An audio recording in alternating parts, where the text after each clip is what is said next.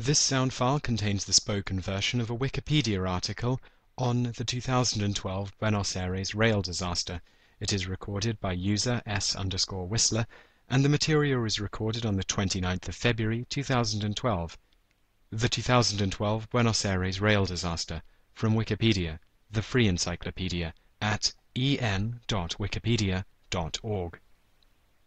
On the 22nd of February 2012, a train crashed at Once Station in the Balvanera barrio of Buenos Aires, Argentina. There were about a thousand passengers on board the crowded eight carriage train, which hit the buffers when it failed to stop, crushing the motor carriage and the following two carriages, after approaching the station too quickly, reportedly due to a brake failure. Fifty one people were killed and more than seven hundred were injured. The dead and seriously injured were in the first two carriages, which were packed with people who had moved to the front of the train to be near the station exit on arrival. The Sarmiento line, on which the incident occurred, is operated by Trenes de Buenos Aires, it was the second fatal accident on the line within six months following the 2011 Flores rail crash, and the third deadliest train accident in Argentina's history, after the Benavides rail disaster in 1970, which left 142 dead and 368 injured, and the Estrella de Norte train accident in 1978, which left 55 dead and an unknown number injured.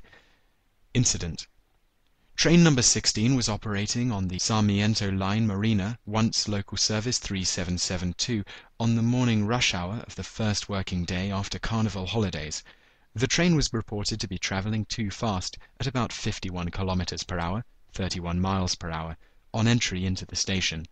It failed to stop before the end of the track at Once station, and at 8.33 it crashed into the buffer stops at a speed of 26 kilometers per hour (16 miles per hour).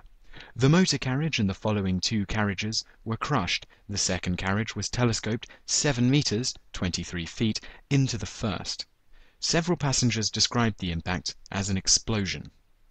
Initially a union leader said that the train had been working well and that there were no problems with the brakes at previous stations. Some passengers reported the same.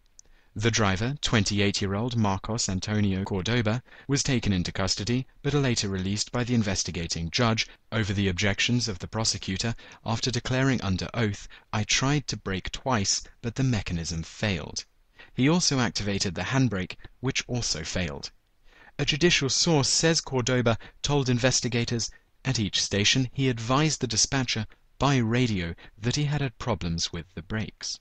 He reportedly said he was told to keep going. Emergency Response Several ambulances in the area on the day of the accident were awaiting a ship that had suffered an influenza B outbreak. They were used to transport victims to nearby hospitals. People with minor injuries left the accident zone on foot. According to the city's head of civil defense, the rescue was difficult because the hard and complicated structure of the carriages made the task of removing the wreckage difficult. The train driver survived the crash. He was rescued and evacuated in an ambulance. It took many people to free him from the wreckage. The test of blood alcohol content gave a negative result. Further information about his medical condition was subject to reporting restrictions as of the 23rd of February. The Sarmiento line did not resume normal operation for several hours, people demanding the reopening of the line, threw bottles, sticks, and chairs at federal police and soldiers guarding the crash site, though police did regain control within a few minutes. Fifty one people, including three children, were confirmed dead.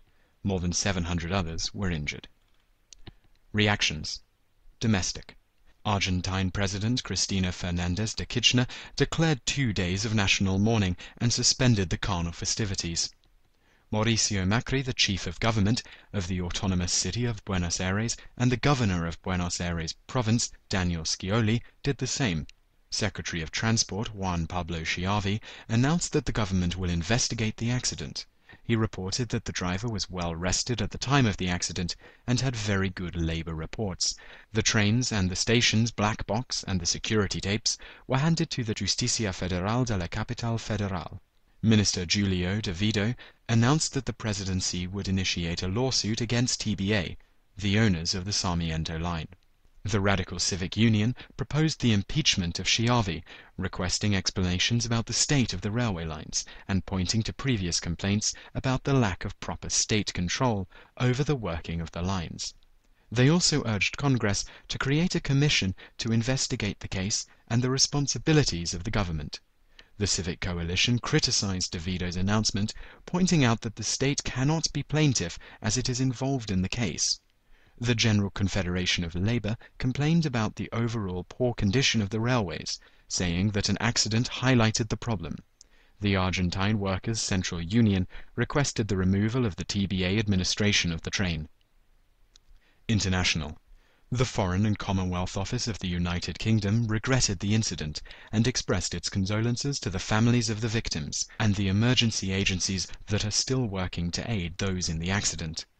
The Secretariat of Foreign Affairs of Mexico sent its condolences to the sister country of Argentina and hoped for the speedy recovery of the families and those injured. Pope Benedict XVI sent his condolences.